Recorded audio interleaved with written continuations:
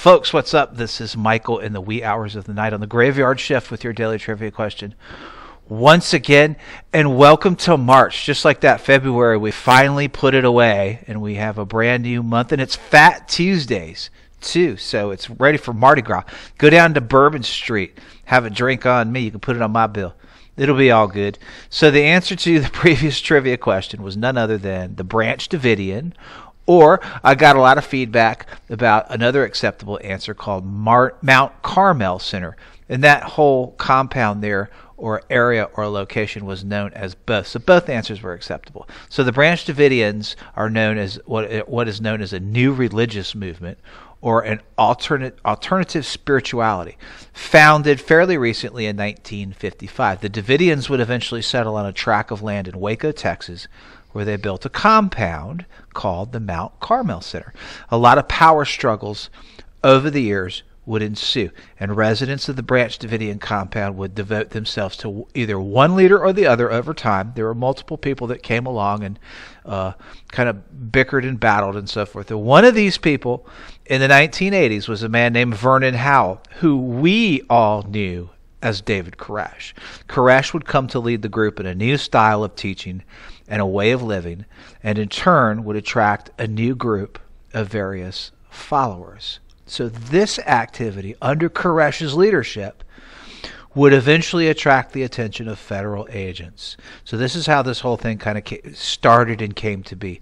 Now, they attempted a raid on the Branch Davidians on February 27th of 93 which was the focus of the trivia question, and this resulted in a standoff between the two groups that would last an incredible 51 days. And it played out on national and even international television. Uh, it was almost a spectacle to see how many news vans and reporters showed up for this. Unfortunately, the entire ordeal culminated in a secondary attempt by federal agents to enter and take over the compound on April 19th. And it was at this time that the main buildings of the Branch Davidians were set on fire which spread rapidly and killed just about everyone inside. Very quickly, this this uh, unfolded. So the aftermath of this was was just a nightmare, as you can imagine. It involved criminal prosecution for the Davidian survivors and numerous other civil lawsuits against the government uh, most of which, as I understand from my research, were thrown out. So, as of 2007, all of those convicted, all of the, the Davidians that were convicted who survived and went to prison, they have all been released since that time.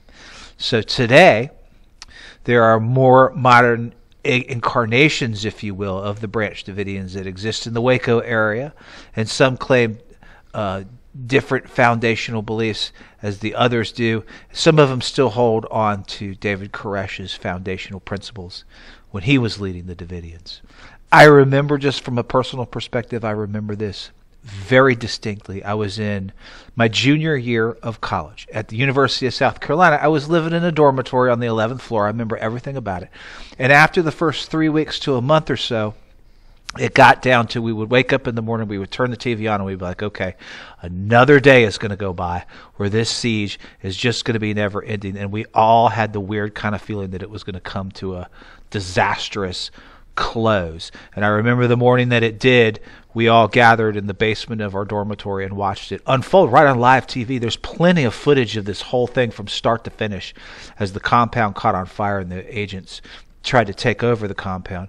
You can dig all of it up on YouTube, as well as a bunch of conspiracy theory documentaries and so forth that have been done on it. So that is kind of the Branch Davidian and Mount Carmel Center uh, in a nutshell.